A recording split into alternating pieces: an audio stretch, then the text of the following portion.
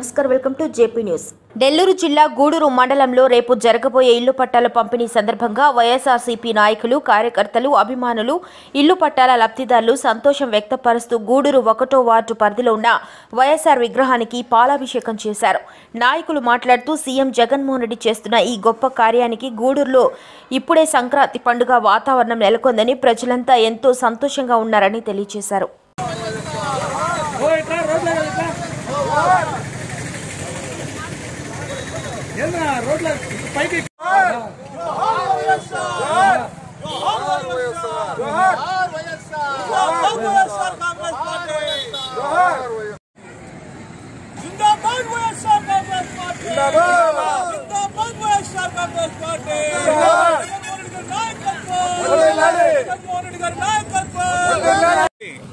జగన్మోహన్ రెడ్డి గారు ఏదైతే ముప్పై ఎనిమిది లక్షల మందికి రేపు ఇరవై ఐదో తేదీ ముక్కోటి వైకుంఠ ఏకాదశి అదేవిధంగా క్రిస్మస్ పండుగ రోజు మరో మూడో పండుగగా ఈ ఇళ్ళ పట్టాల పంపిణీ కార్యక్రమాన్ని శ్రీకారం చుట్టారు.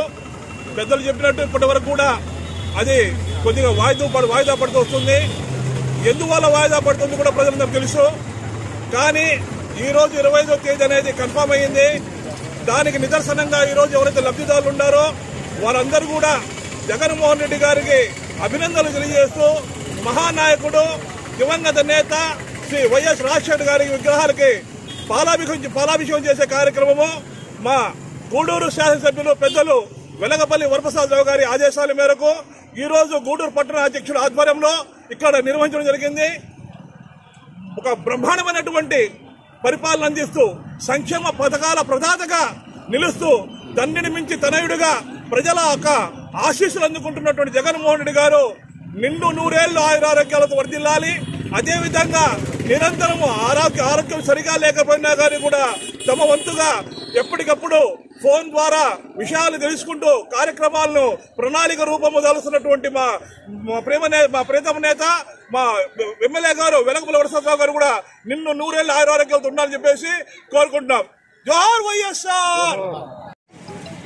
పేదలైనటువంటి నిరుపేదలైనటువంటి లబ్ధిదారులకు ఎవరైతే గృహాలు పట్టాలు లేనటువంటి పేద నిరుపేదలకు ఎంతమంది ఉన్నా సరే పార్టీలకు అతీతంగా రాజశేఖర రెడ్డి గారు చేసినటువంటి పనుల కన్నా కూడా మించి ఇళ్ళ పట్టాలను ఇస్తున్నాడు.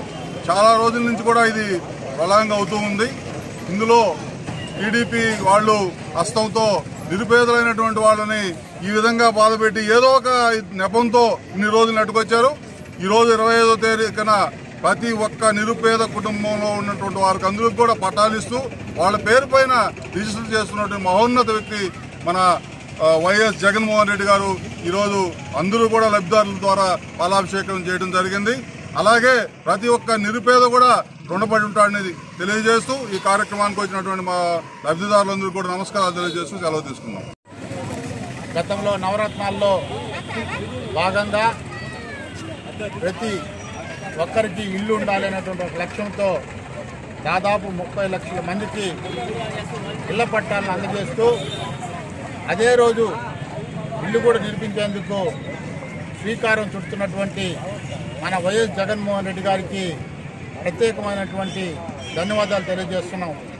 గతంలో దివంగత మహానేత డాక్టర్ రాజశేఖర రెడ్డి గారు ఈ రాష్ట్రంలో ఎవరైతే పేద బడుగు బలహీన వర్గాలు ఉన్నారో వాళ్ళందరికీ కూడా ఇందిరమ్మ ఇల్లు అనే పేరుతో ప్రతి ఒక్కరికి ఇల్లు ఇచ్చి ఈరోజు గూడూరు పట్టణానికి ఒక మోడల్ టౌన్గా ఏర్పాటు చేసినటువంటి రాజశేఖర రెడ్డి గారికి ఇక్కడ ఉన్నటువంటి లబ్ధిదారులు రేపు ఇరవై ఐదో తేదీ క్రిస్మస్ రోజు మన ప్రీతమ ముఖ్యమంత్రి వర్యులు ముక్కోటి క్రిస్మస్ రెండు కూడా ఆ రోజు వస్తున్నందువల్ల మన జగన్మోహన్ రెడ్డి గారు ప్రతి ఒక్కరికి ఇళ్ళ పట్టాలు ఇస్తూ ఆ రోజు వాళ్ళకి ఆ ఇళ్ళ ఇళ్ళ పట్టాల మీద పూర్తి హక్కులు వాళ్ళకే వచ్చే విధంగా శ్రీకారం చుడుతున్నటువంటి జగన్మోహన్ రెడ్డి గారికి ప్రత్యేకమైనటువంటి ధన్యవాదాలు తెలియ